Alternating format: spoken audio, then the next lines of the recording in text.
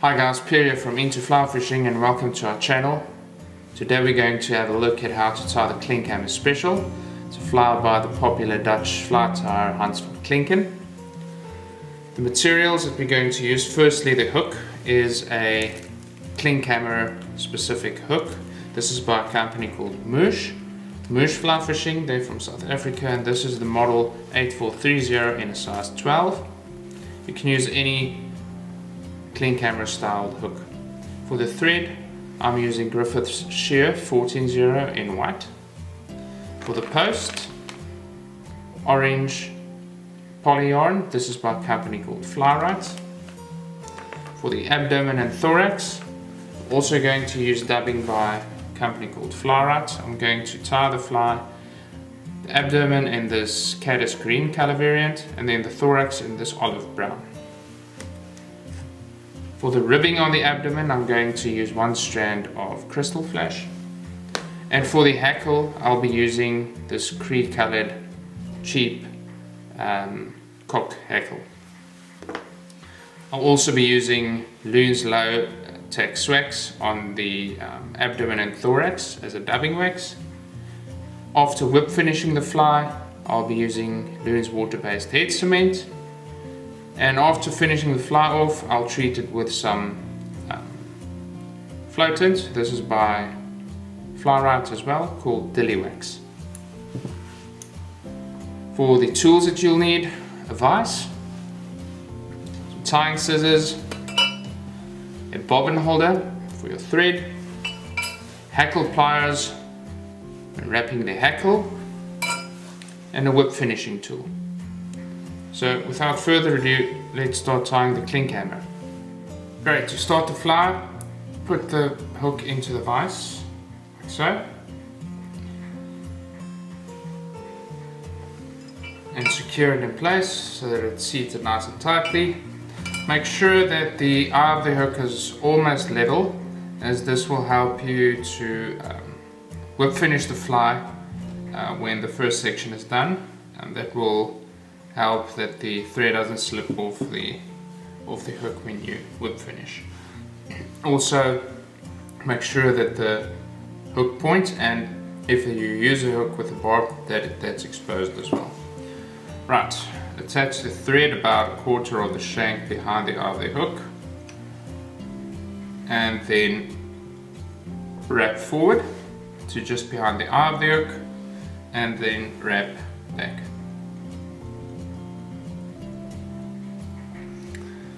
Lay thread foundation all the way back with touching turns to where if you leave the thread hanging freely right there, it will hang right on the inside of the bend of the hook, right there. Then wrap your thread all the way forward up to about quarter of your thread base behind the eye of the hook. Now take a section of the poly yarn, about 4 inches is fine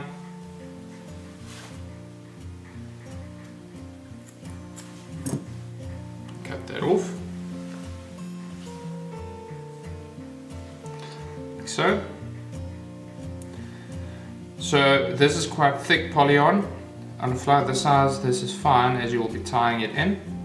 Um, it will actually shrink or bind in closer. When you tie smaller flies, going down to 14, 16 and 18, you can split the poly on like so, making thinner sections. So tie in the poly yarn, leaving about an inch on the back. The pinch wrap, one rep, two reps, three reps, then secure with a couple more wraps. It's just like that. Right, now it's locked in place. But if you pull too hard on the thread now, the poly yarn will still flip over. That's because you haven't locked it in place on the front side.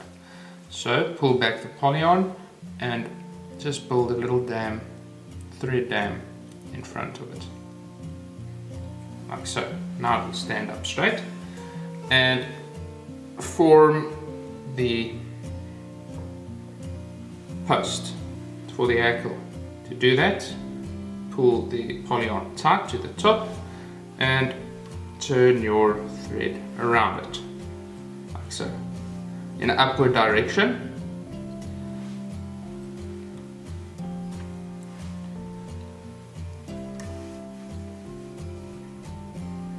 It's important to keep tension on the poly yarn the whole time, otherwise the process won't work. Go up until you have enough space where you will be creating the base for the hackle. Right, right there. Then move your thread back to the base of the post. Now, with the sharp pair of scissors, I'm just going to get my sharpest pair. Pull the poly yarn that's facing rearwards, pull that tight and at an angle like that, trim it off. That angle will create the taper that you want in the body, the abdomen. Now, wrap all the way back, making sure that doesn't happen. Trying to cover as much of the poly yarn as possible Just a little section here that I'm going to cut off. That. It's fine if you don't cover all of it as the dubbing will also help with, with that. Right, that. That's a nice taper. Leave your thread at the base of the post again and take one strand of Krystal Flash and tie it in at the base of the post. Sorry, this post is a little bit long, it's giving me problems. I just want to cut it shorter. Okay.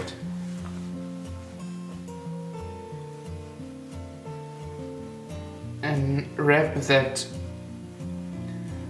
um, Krystal Flash back with your thread all the way to where the thread base starts, right there. Now I'll take some dubbing wax and wax the thread. Doesn't have to be a thick coating, just a little bit.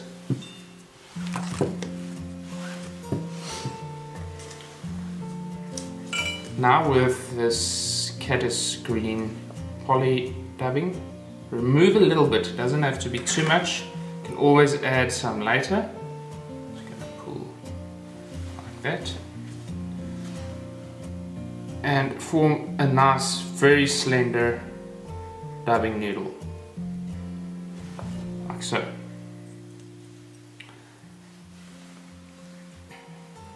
Once you've trapped first couple of fibers, pull the dubbing noodle, twist it, twist it. This will create a nice slender look. Like that.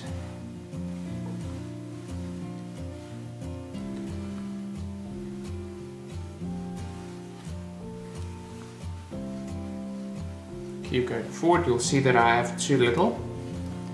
So what we'll do is a little bit more dubbing wax.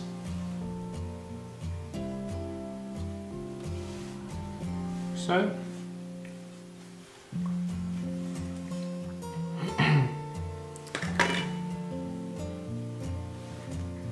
you'll see that I apply a little bit at a time. So. Might be a little add a little bit more.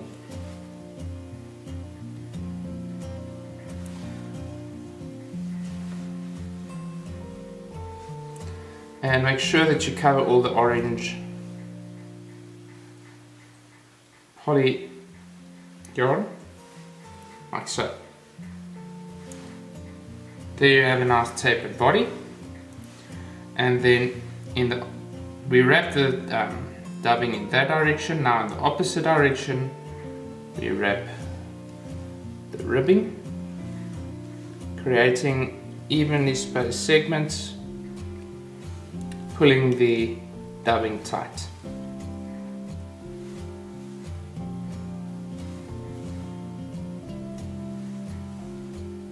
On small flies, I don't really add ribbing, but on slightly larger flies, I like adding ribbing, especially in, um, water that's a little bit murkier or dirtier. A little bit of flash works well. Right, so we entered the abdomen right behind the post. It's fine if you leave a little gap there, we can start the thorax just behind the post as well. But at this stage, it's time to prepare the hackle for the, for the fly. So we'll look at selecting uh, the correctly sized hackle for the fly. You can use a hackle gauge, um, that will help you, certainly help you, but after a certain time you'll get used to or more experience in selecting hackles especially you can vary the hackle sizes on different on different flies. I mean on a size 12 there's not you can use a couple of different sizes of hackle let me put it that way. It's not fixed.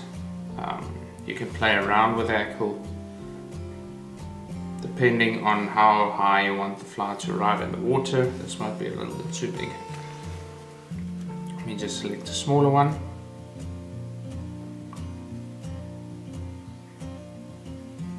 Like so. Right. That's perfect. So um, after you selected a hackle, just pull back all the fibers, stroke back all the fibers that they are stand perpendicular to the stem, like so. And then I'll remove all the fibers that are soft the softer fibers at the stem.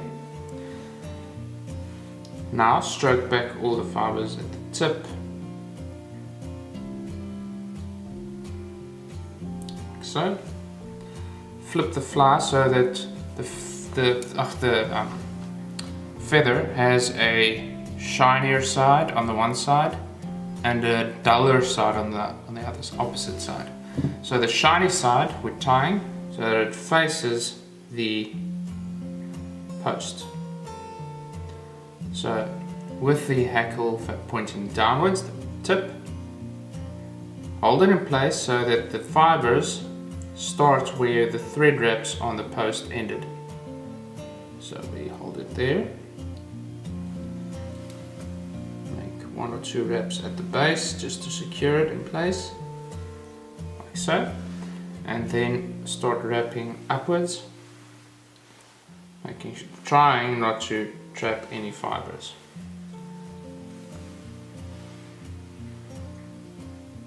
Wrap upwards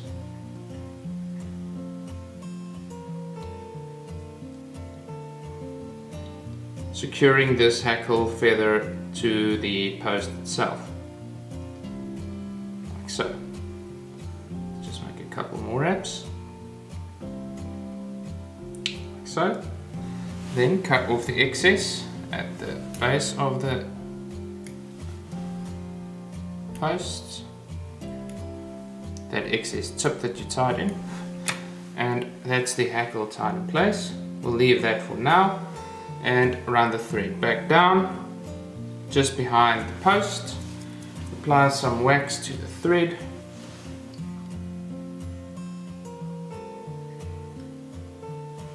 Like so. And now take some of the darker dubbing for the thorax.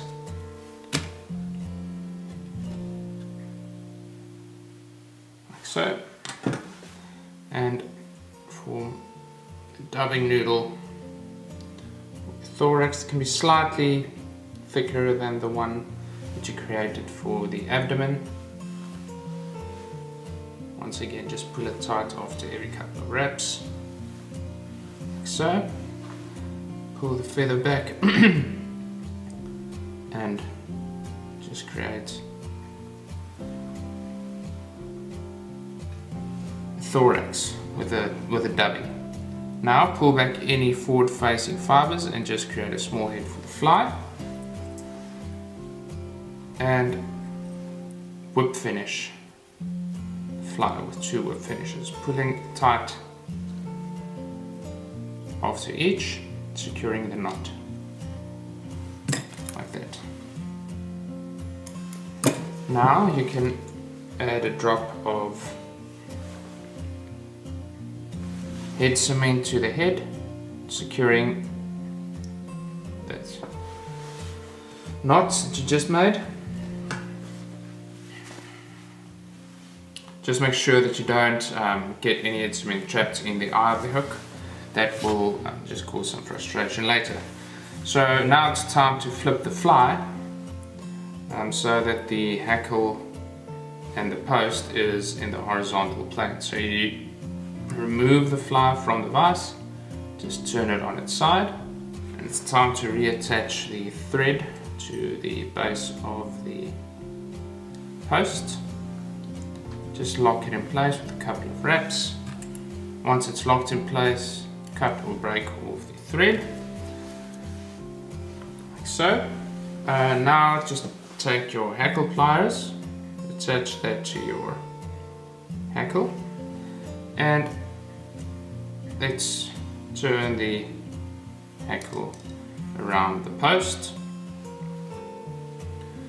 in a downwards direction and pulling tight on the post every now and then just to make sure that the hackle doesn't slip.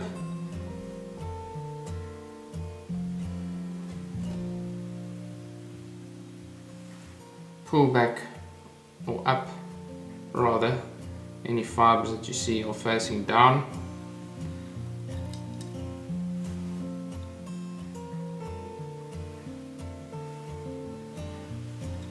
just like that. I'm just going to take a point of my scissors. There are some fibers that are trapped. I just want to release. You can also use a bodkin for this, but scissors. And then we want to secure this um, hackle. So this is where the hackle ply comes in very handy, as you just leave it hanging there and now you stroke back all the fibers that are facing down like so and you run your thread around them to pick them up so that you don't trap them like so and then make one or two wraps around the hackle itself to secure it in place.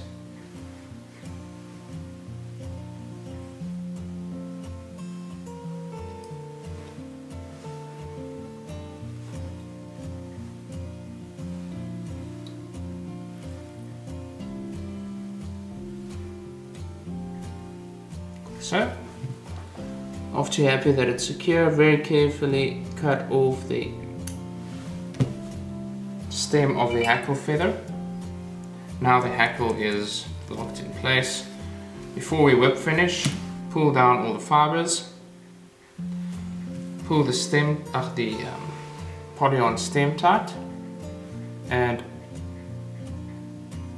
make one cut to cut off the post, excess post material, pull up all the fibers again, and now whip finish. Running the th thread around the fibers making sure that we don't trap any of them like so. Pull the knot tight and cut off the thread now you can remove the fly from the vise again and just pop it in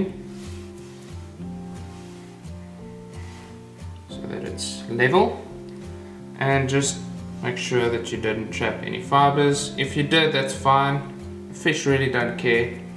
Um, just trim them a little bit. There's one that.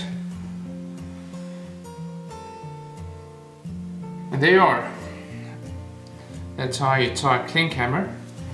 And then before you fish um, the fly, or any dry fly for that matter, just take some of your favorite floatant. I'm going to apply some directly to the post. On larger Klinkhammers, the uh, post actually keeps the fly um, afloat. Then I just rub all that dilly wax through the hackle and the post. And there you are. Uh, that's how you tie a Klinkhammer. I hope that you guys enjoyed this step-by-step -step tutorial and um, I hope to see you guys during our next fly tying tutorial. Cheers from Into Fly Fishing.